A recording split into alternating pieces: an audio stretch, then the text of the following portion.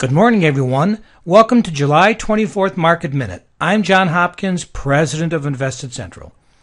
Right now, we got the Dow futures down 17, the S&P futures are down 2, and Nasdaq futures are down 2. Both Asian and European shares were mixed overnight. Futures were down sharply ahead of the bell on Monday as traders fretted over Europe's woes. The market opened lower as advertised and remained lower all day long.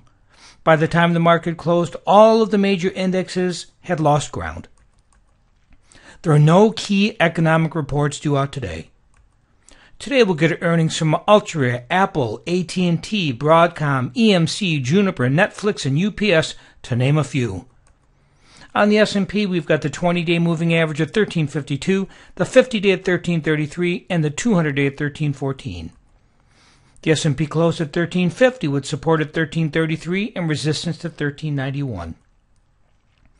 The bears came out guns a-blazing on Monday using European troubles as the basis for very red futures. The market opened down hard and stayed weak throughout the day with a bit of nibbling later in the day. The S&P closed just below its 20-day moving average, but not enough to cause a major technical problem. So, if the Bulls can stop the bleeding quickly here, they just might be able to get right back on track while aiming for the most recent high of 1380. Here's a bully trend fact.